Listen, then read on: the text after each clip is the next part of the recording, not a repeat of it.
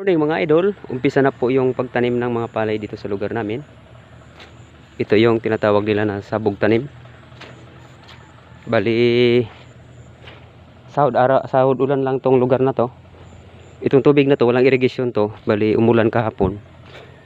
Sinahod nila. Yan. Pupuntahan ko yung may traktor doon, no. Kakausapin ko baka pwedeng sisingit nyo sa akin eh patraktor ko. Ito may sabog na to, mga idol. Bukas, aalisan to ng tubig. Aalisan to ng tubig ng may-ari. Ngayon, pigbabad lang. Tapos pag maalisan to ng tubig, ah, arkada na. Yun o, yung sa itaas o, tubo na. Puro to sahod. Sahod ulan lang. Itong lugar na to. Yan may hayay ang buhay ng may-ari ng yung labo na nilag, lupa na nilagyan ng puste. Binayaran yan. To. Yung iba nag-ano pa. Araro. Yun. Yan mga idol.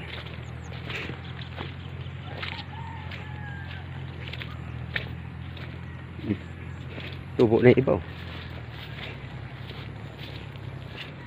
Tubo na baga. Yan. Maganda tignan ta nagtubo na. Yan sa akin oh, yung may ibay bahay. Shopping ko yung ano kung pwedeng isingit. Yung tractor na orange na yun.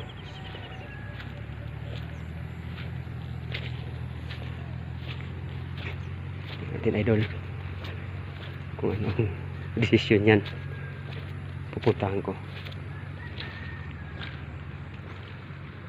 kung papayag na. Kung papayag na eh traktor yung sa akin.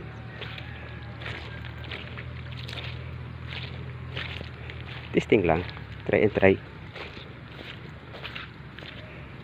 Try ko lang. Pagka papayag kung pumayag ayos kung ayaw pumayag. Di ayos.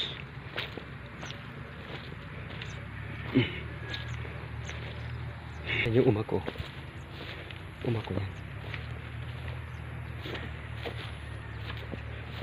Yung, yung napaligiran ng kudal traktor na yun kusapin ko kung papayag siya na tirahin sa akin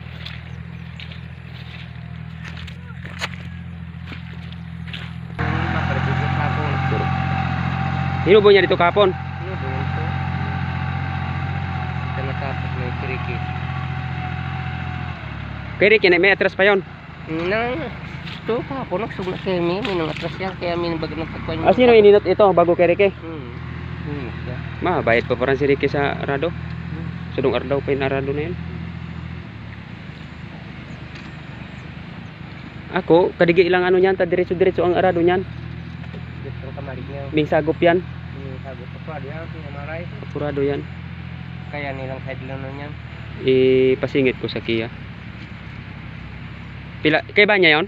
Ha? Kay ba niya yon? Niya, kamalig. Buri si Ricky.